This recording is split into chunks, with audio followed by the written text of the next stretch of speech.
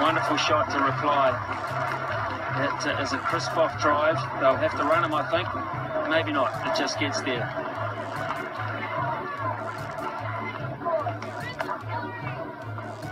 But uh, Mark Richardson.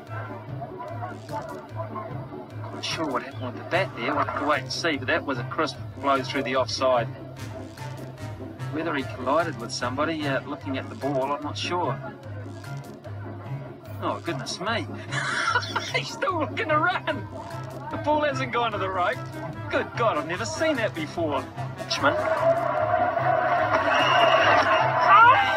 Yeah, goodness me.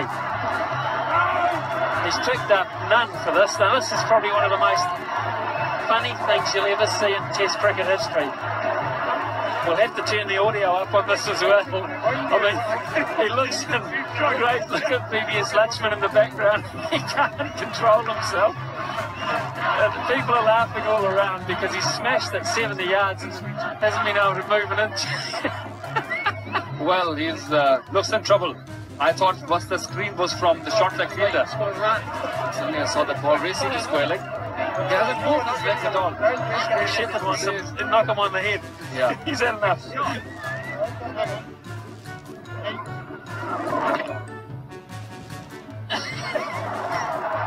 this was amazing. This is like the front line in a battlefield. Haven't seen something like this. Which uh, South Africans are milking Graeme Swann is a shock to England. Now, what's happened here?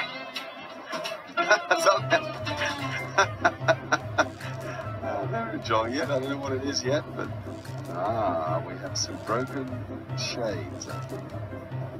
Captains, maybe. Perhaps he doesn't want to look at the scoreboard anymore.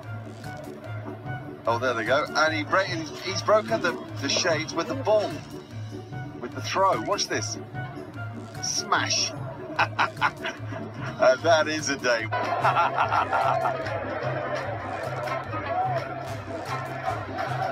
Don't worry, mate. You got away with it. No one's seen it. wakey, wakey.